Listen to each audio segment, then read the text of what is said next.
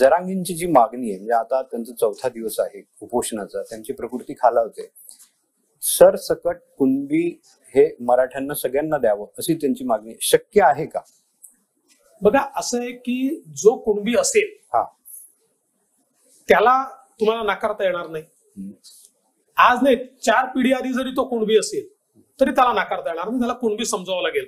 चार पिढ्यात जरी त्याचं मराठा लिहिलं असेल पण चार पिढीपूर्वी जरी कुणबी लिहिलं असेल आता त्यांनी मागणी अशी केली आहे की जुन्या हैदराबादच्या रेकॉर्डमध्ये आम्ही सगळे कुणबी आहोत किंवा जे काही निजामाचं राज्य होतं त्यात कुणबी आहोत त्याचा रेकॉर्ड जमा करण्याकरता किंवा त्याची पद्धती ठरवण्याकरता शि- न्यायमूर्ती शिंदेची समिती तयार केली आहे ती समिती त्या संदर्भातला आपला अहवाल देईल आणि मग त्यानंतरचा त्याचा निर्णय माननीय मुख्यमंत्री घेतील.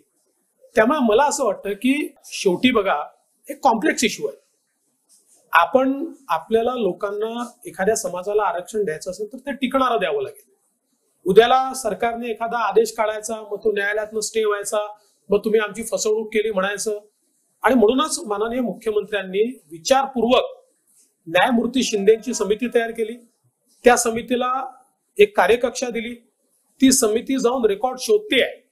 बराच रेकॉर्ड त्यांना सापडतोय. रेकॉर्ड जर योग्य मिळाला तर त्या रेकॉर्डच्या आधारावर एक कार्यपद्धती ठरवता येईल. त्यातनं ते म्हणतात तसा प्रश्न सुटेल. आणि त्या व्यतिरिक्तही शेवटी समाजाची ही देखील मागणी आहे की आम्हाला स्वतंत्रपणे मराठा म्हणून आरक्षण द्या. त्याच्यावरही कारवाई माननीय मुख्यमंत्र्यांनी सुरू केली आहे. आज क्युरेटिव्ह पिटिशन जी आपली दाखल केलेली आहे त्या क्युरेटिव्ह पिटिशनचं मेन्शन झालेलं आहे. मेन्शन झाल्यावर कोर्टाने ती लावून घ्यायला होकार दिलेला आहे.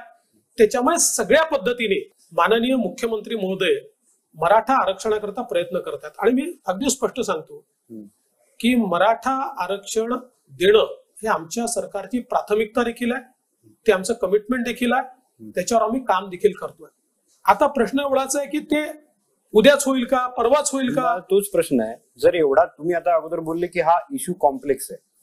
इश्यू जर एवढा कॉम्प्लेक्स असता तर मग सरकारने जरांगींना तीस दिवसाची का मुदत दिली की आम्ही तीस दिवसात करू? ते बोलतात तर मी दहा दिवस एक्स्ट्रा दिले चाळीस दिवस नाही झालं. मुळात असं आहे की पहिल्यांदा त्यांच्याकडनं असं सांगण्यात आलं होतं की सगळे पुरावे आमच्याकडे आहेत आम्ही ते पुरावे देतो. पण कमिटीने पुरावे पाहणं सुरू केलं जे काही पुरावे मिळाले ते योग्यच होते. पण कमिटीच्या असं लक्षात आलं की एवढ्या पुराव्यांनी आपण कोर्टात सस्टेन करू शकणार नाही. आपल्याला अधिक व्यापक पुरावे लागतील प्रत्येक जिल्ह्यातले पुरावे लागतील हैदराबादचे पुरावे घ्यावे लागतील. दरम्यान तेलंगणाची निवडणूक आली. तेलंगणाची निवडणूक आल्यामुळे तिथल्या चीफ सेक्रेटरीने सांगितलं की आता आमच्याकडे आचारसंहिता लागलेली आहे. असे अनेक मुद्दे त्याच्यामध्ये आहेत आणि म्हणून त्या कमिटीने दोन महिन्याचं एक्सटेन्शन मागितलं. त्यानुसार दोन का तीन महिन्याचं ते एक्सटेन्शन सरकारने त्यांना दिलेलं आहे. कमिटी काम करतेच आहे. आता आपण कमिटीलाही काम करू देणार नाही. आता काही ठिकाणी कमिटीला गो बॅक झालं.